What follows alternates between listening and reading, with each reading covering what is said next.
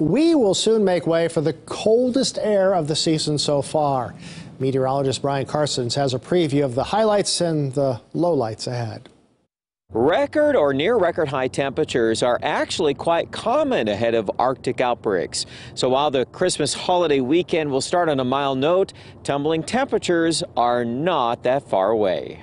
We've been tracking the record highs across portions of KELOLAND. Sisseton hit a daily record on the 23rd of December at a whopping 54 degrees. Pierre jumped to 54 overnight to surge into record territory for Christmas Eve. Setting record highs at night is pretty impressive. Also impressive is the parade of systems moving through the plains the next few days. Prepare for a wide contrast from north to south. The European model is hinting at 70s in far northern Kansas on Sunday. Meanwhile, Minot, North Dakota may not hit zero.